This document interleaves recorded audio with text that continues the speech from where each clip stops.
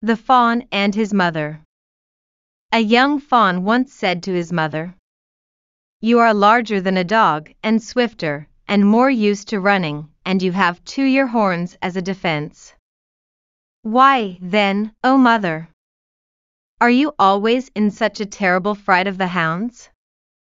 She smiled, and said, I know full well, my son, that all you say is true.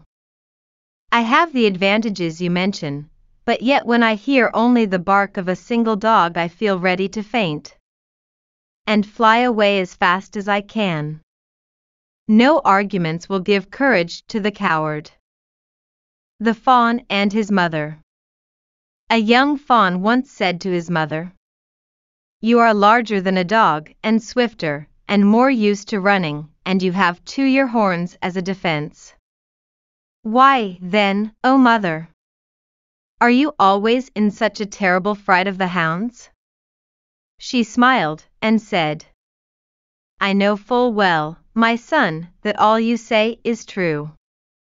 I have the advantages you mention, but yet when I hear only the bark of a single dog I feel ready to faint and fly away as fast as I can. No arguments will give courage to the coward.